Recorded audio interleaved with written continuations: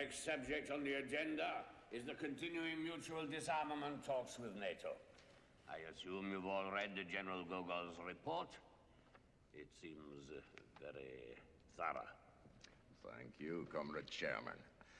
I believe I expressed the opinion of everyone present that adoption of NATO proposals does not compromise our defensive position.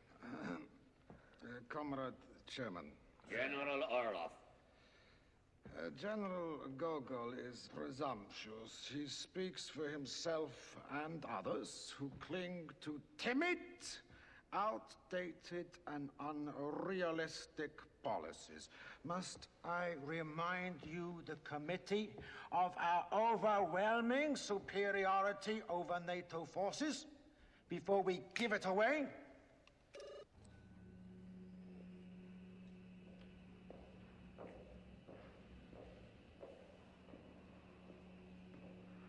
In East Germany, under my direct command, I have 31 divisions, including 11 tank divisions and another five in Czechoslovakia.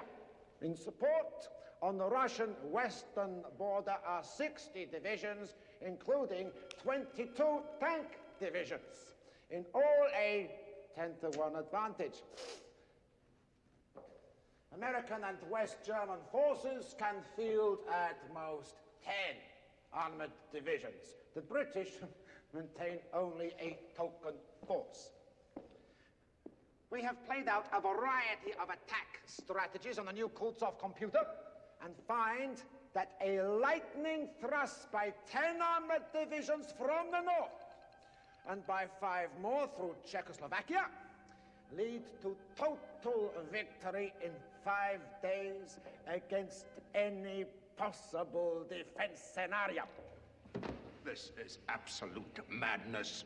We know where it will end. NATO will counterattack with nuclear weapons. Never! The West is decadent and divided. It has no stomach to risk our atomic reprisals. Throughout Europe, daily demonstrations demand unilateral nuclear disarmament. I see no reason to risk war to satisfy your personal paranoia and thirst for conquest. We must turn our energies to pressing domestic problems. General Gogo, let me remind Comrades, you. sit down. I wish to Both tell of you. you. World socialism will be achieved peaceably. Our military role is strictly defensive. Да? Is that understood, General Orlov?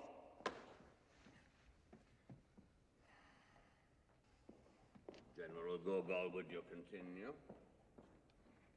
Thank you, Comrade Chairman. I will now turn to the specifics of my report.